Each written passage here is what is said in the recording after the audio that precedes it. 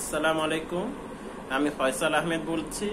আমি school at হোমের founder school at home দুই হাজার বিশ সালের মে মাসে আমরা প্রতিষ্ঠা করেছিলাম, মে মাসের এক তারিখে। এই দুই হাজার বাইশ সালের মে মাসের এক তারিখ আমাদের স্কুল অ্যাট হোমের তৃতীয় বছর পদার্পণ করবেন ইনশাল্লাহ স্কুল অ্যাট হোম আমরা যখন তৈরি করি, তখন করোনার প্রথম বছর সারা বিশ্বে করোনা চলছিল। আমরা ঘরেই ছিলাম সবাই। তো করোনা ভাইরাসে যখন আমি বাসায় ছিলাম, বাসায় আমি পড়ালেখার পাশাপাশি কীভাবে সময় কাটাবো বা সময় আমি কীভাবে স্পেন্ড করব, সেই, সেটি নিয়ে চিন্তা করতে করতে হঠাৎ আমার মাথায় আইডিয়া আসলো স্কুল অ্যাট হোম গড়ে তোলার। স্কুল অ্যাট হোমের এই নামকরণটি যখন আমি করি তখন এটি অনেক ভেবে চিনতে আমি নামটি করেছিলাম। অর্থাৎ, তো এর এজন্য নামটি করেছিলাম যে ঘরে বসে পড়ালেখা করার কীভাবে করা যায়, সেই চিন্তা ধারণা থেকে আমার এই নামকরণটি করা হয়েছিল school at home.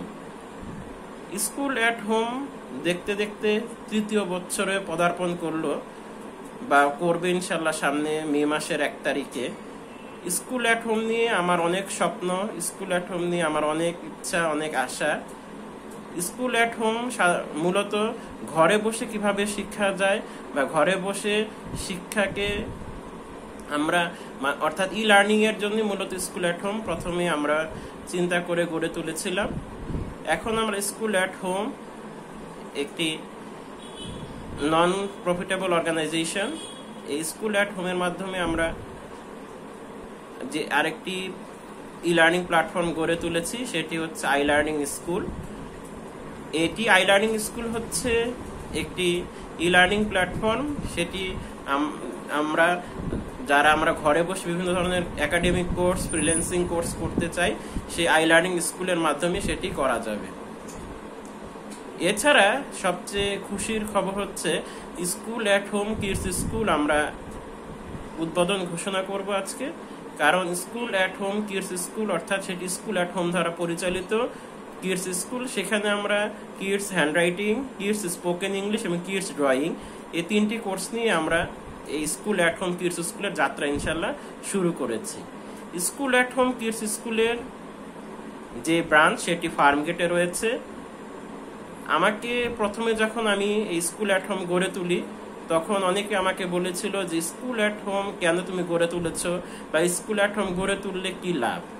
তো স্কুল অ্যাট হোম আমার একটি ভালোবাসার জায়গা। স্কুল অ্যাট হোমকে আমি আমার, খুবই আমি এটাকে পছন্দ করি। কীভাবে স্কুল অ্যাট হোমকে গড়ে তোলা যায়? কীভাবে স্কুল অ্যাট হোমে কে আমি, এটার মাধ্যমে কীভাবে কি কি করা যায় সেটি নিয়ে আমি সবসময় চিন্তা করি। School at home kids school আমি গড়ে তুলেছি আল্লাহ রহমতে। আমি সবসময় একটা কথা বলি বা বলব যে মানুষের ইচ্ছা শক্তিটাই আসল। আমার যদি ইচ্ছা থাকে ভালো কিছু করার, সেটা অবশ্যই সম্ভব হবে ইনশাল্লাহ ইচ্ছা শক্তিকে কাজে লাগাতে হবে। ইচ্ছা শক্তিকে ভালোবাসতে হবে, তাহলেই অনেক কিছু করা সম্ভব।